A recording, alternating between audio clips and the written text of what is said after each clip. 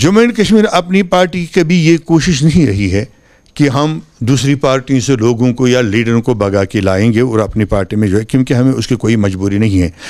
मैं भी जो सुना है, ताज साहब ने ऐसा बता दिया, ताज साहब एक सियासी कदावर शख्सियत हैं। वैसे उनको तो ये जेब नहीं देता है। फिर भी अगर उन्होंने कहा है तो जम्मू एंड कश्मीर अपनी पार्टी इस चीज़ को सिरे से रिजेक्ट करती है, क्योंकि सैयद अल्ताफ़ बुखारी साहब का मिशन है जो उस माजी का हमने मुताला किया है, माजी का मुशाहिदा किया है, सत्तर साल की सियासत का है। तो उनका फैसला है कि हम अपनी पार्टी में कचरा जमा नहीं करेंगे। हाँ ये कचरा पार्टी नहीं है।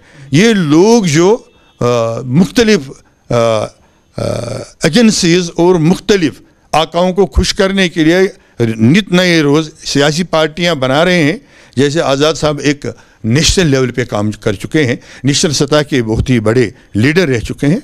यहाँ जम्मू कश्मीर में वो ज़मीन से नहीं जुड़े हैं।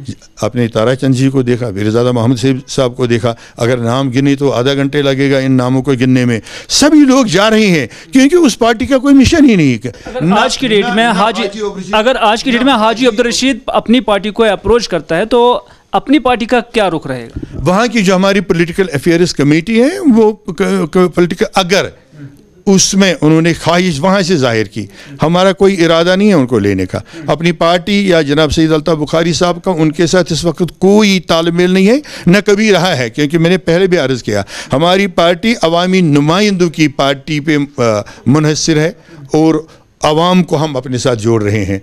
जो लोग अपनी साख्त खो चुके हैं या आवाम के साथ पिछली हुकूमत में धोखाधड़ी कर चुके हैं, उन्हें हमें अपने साथ जोड़ने का कोई शौक नहीं है।